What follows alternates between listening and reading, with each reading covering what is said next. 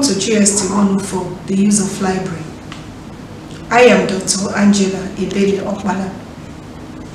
I'm taking you through Module 2, Unit 3, Databases. Let's look at the definition of a database. A database is a searchable collection of published works. It is an electronic catalog or index. The library pays for access However, some databases are free for you to use. The database helps the researcher to find reliable information from trusted sources.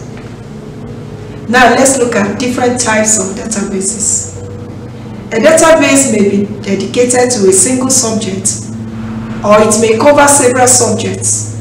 Some known databases are Academic Search Premier, this is a multidisciplinary database that provides full text. JSTOR is another type. It provides full text searches of almost 2,000 journals. Most access is by subscription, but some older public domain content is freely available to anyone. JSTOR is multidisciplinary.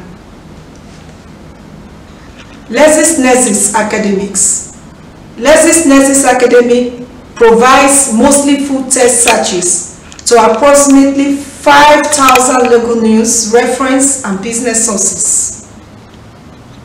PubMed or Medline. PubMed was developed by the National Library of Medicine and provides free access to Medline. Science Direct. Over 250,000 articles on Science Direct are open access. However, Science Direct provides subscription-based access to a large database of scientific and medical research. Scopus Scopus is the largest abstract and citation database of peer-reviewed literature. It delivers a broad overview of global interdisciplinary scientific information in science, mathematics, engineering, technology, health and medicine, social sciences, and Arts and Humanities. Search. Search journals are open access. It supports both gold open access publication and green open access archiving.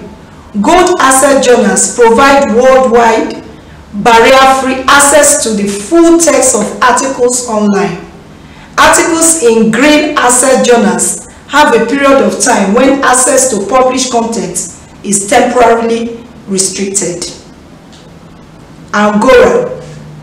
This database provides access to collections in the fields of food, agriculture, environmental science, and related social sciences.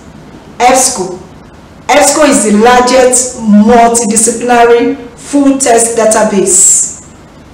ERIC. ERIC is the world's most widely used database in education. HINARI. Hillary enables developing countries access to free collections in biomedical and health sciences. Thank you for listening.